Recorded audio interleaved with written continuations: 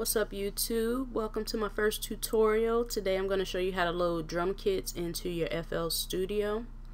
Now if you're like me, you probably make a lot of your own, but sometimes you just need a little inspiration so you may want to download a drum kit or if you're just getting started it might be a good place to start. So I'm not going to go through the downloading process, but I'll tell you a good place to get kits from is warbeats.com they have excellent drum kits if you want to get those.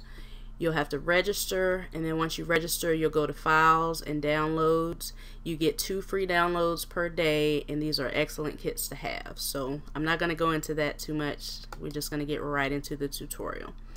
So let's say we've already downloaded our drum kit and we've saved it wherever we saved it. In my instance, it's in my documents and my downloads. Alright, so what we're going to do, leave that window open. Go to my computer. If you don't have it on your desktop, just go down to the start menu and hit my computer right here.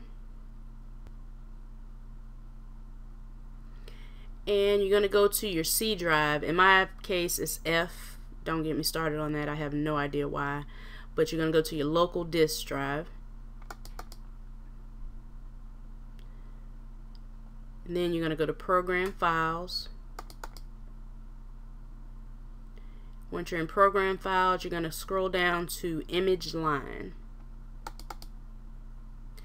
In this particular folder here, if you have more than one version of FL Studio, they're going to show up here. What you want to do is open the folder that you want your pack to go in. If you want them to go into all of them, you will have to do this individually. I only have FL Studio 10, so I'm going to open that. Then from there you want to go to data.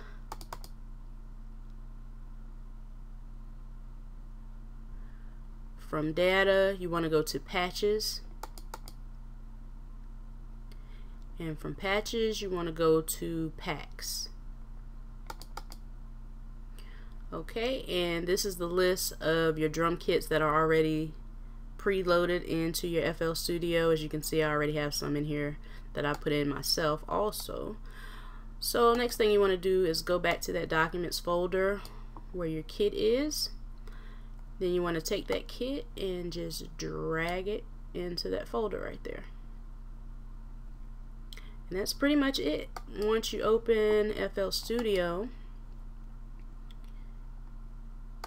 you'll find it under packs. Now if you do like I just did and you already have FL Studio open when you load your drum kit, what you can do is hit this little button right here, this refresh button.